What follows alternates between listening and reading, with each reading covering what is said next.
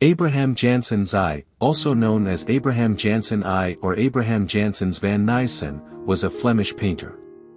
He was born in 1570 and was a prominent figure in the art scene of Flanders. Abraham Janssens I was renowned for his exceptional talent in creating large-scale religious and mythological artworks. His paintings were heavily influenced by the renowned artist Caravaggio.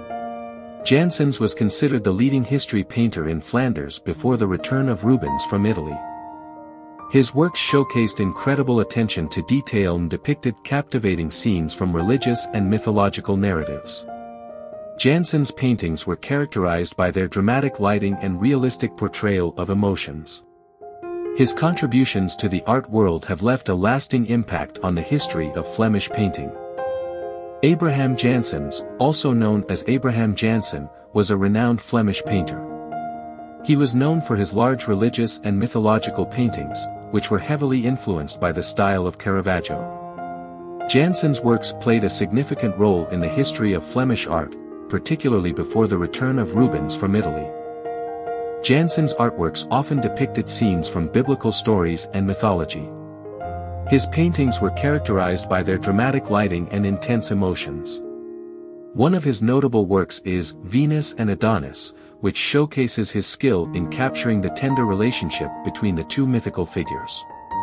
During his career, Janssens became a leading history painter in Flanders, gaining recognition for his artistic talent and unique style. Janssens' contributions to Flemish art extended beyond his own paintings.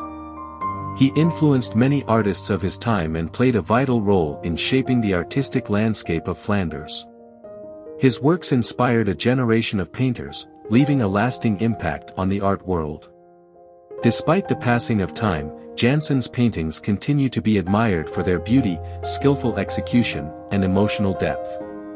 His legacy as a master of Flemish art lives on, as his works continue to fascinate and inspire art enthusiasts worldwide.